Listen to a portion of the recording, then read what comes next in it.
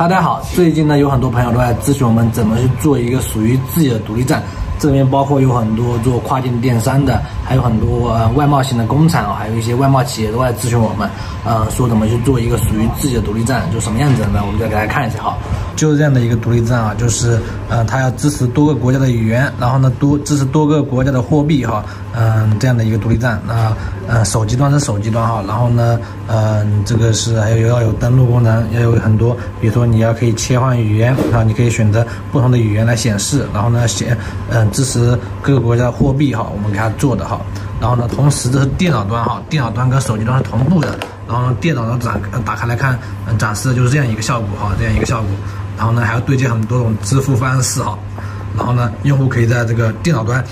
或者说手机端去嗯购物哈，这样一个独立站啊，那怎么去做呢？那像这样一个独立站怎么去做呢？其实很简单。如果说你要做一个属于自己的独立站，首先第一步你打开一个浏览器，然后在这个标签栏你输入 m i c r o，好 p i o n 点 c n 哈。这个网站，在这个网站上，我们就可以去做一个属于自己的独立账号。那如果说你没有账号的话，你点注册去注册一个账号。我们有账号，我们直接点管理登录，登录进去啊。好，我们登录一下。登录进去，我们选择一个店铺，进入到这个呃独立站的后台。好，这就是一个独立站的后台啊，就开箱即用，不需要你去做什么。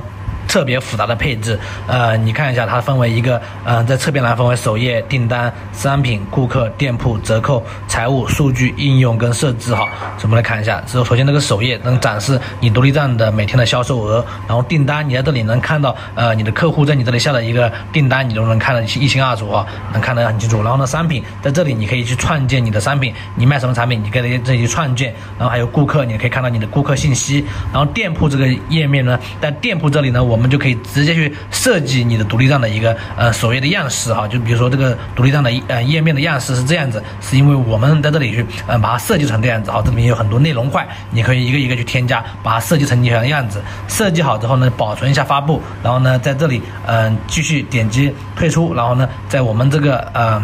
呃折扣板块就有很多你的优惠啊折扣你都可以在这里去创建。然后呢还有就应用板块啊，应用板块这里就有很多功能了哈，有非常多的功能，比如说有博客啊、消息通知啊，然后呢还有很多商品一路换图啊，还有多货币、多语言插件，各种功能应有尽有啊，非常强大，非常强大啊。那如果说你刚好在做独立站，需要去呃找一个。更简单操作的独立站就可以在这里去尝试啊。然后呢，在这个独立站的设置板块这里呢，在这里有很多呃，在这个支付设置这里啊，这里可以对接很多海外的支付渠道啊，PayPal 啊，还有很多各种各样的支付渠道都是可以去对接的。你只要去用呃营业执照去申请一个支付账号，申请好之后呢，去这里去嗯配置好这些参数对接，然后就可以上线了，然后就可以对外发发布，让老外来你的网站上下单去买东西哈，非常强大。好，那如果说你的业务呃，要用到独立站这样一个工具的话，就可以在这里去尝试一下啊。好，那以上内容就是关于怎么去做一个属于自己独立站的一个分享啊。嗯，那如果说你自己刚好现在也在开始去做跨境，或者说你的工厂也想去出海啊，然后呢缺少这方面的一些资源或相关的信息，可以关注我们的公众号啊，然后呢我们会在我们的社群里面呃经常发布一些非常有用的消息哈，帮助大家一起出海，做中国工厂出海的指南针啊。